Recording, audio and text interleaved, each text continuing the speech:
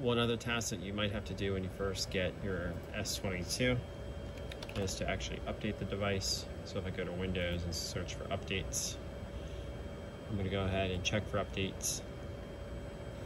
So the updates are managed so that the device actually gets the correct updates that will work with it. Um, one other note as well, because we always get this question on PC. This is also Windows 10 Enterprise. So a nice Windows 10 Enterprise license, so you can add it to your Windows Active Directory if you need to.